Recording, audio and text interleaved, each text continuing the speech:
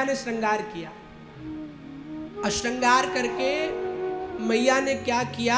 कन्हैया के हाथ में माखन रोटी पकड़ा दी। माखन रोटी पहले छोटे आप थे तो मैया घी के साथ रोटी चुपड़ के देती थी। याद होगा आप सबको। अब तो एडवांस समय आ गया, मैगी पे हम आ गए। तो कन्हैया को घी रोटी पकड़ाई। कन्हैया जा रहे थे। खाते खाते तब तक श्री काकभुसुंडी जी आए।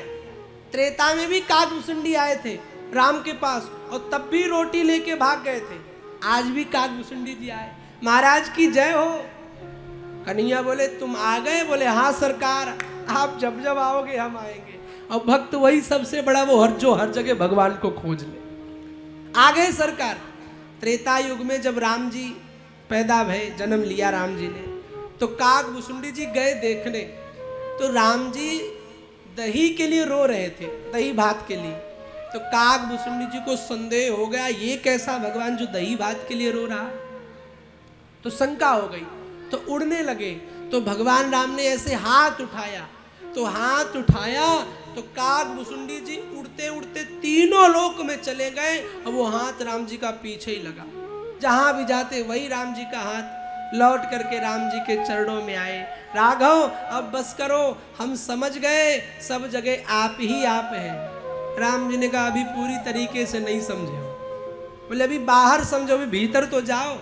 और क्या किया? काक भुसुंडी को पेट के अंदर भेजा। और जैसे ही पेट के अंदर गए, सो देखा, अतल सुतल पाताल, भुवन भूमंडल, सारे ब्रह्मलोक, ब्रह्मांड, पृथ्वी, सूर्य, रसातल, तल, सब भगवान के पेट में ही तुरंत भाग आए।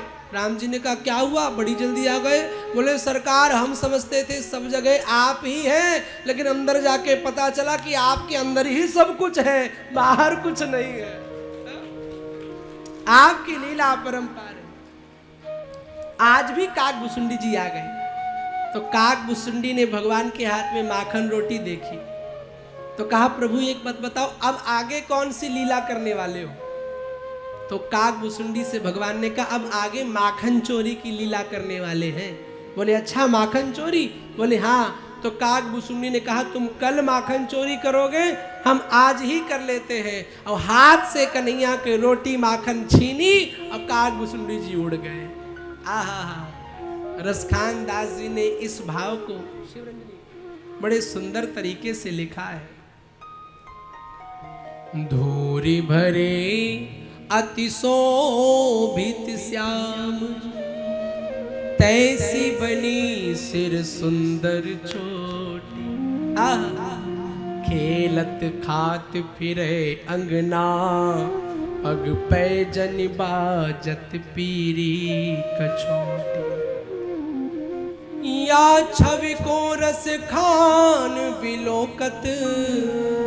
वारत काम कला निधि कोटि काग के भाग बड़े सजनी। हरि हाथ सुले गयो माखन रोटी। रसखान कहते, धन्य है काग मुसुंडी के भाग। धन्य उस कौआ के भाग।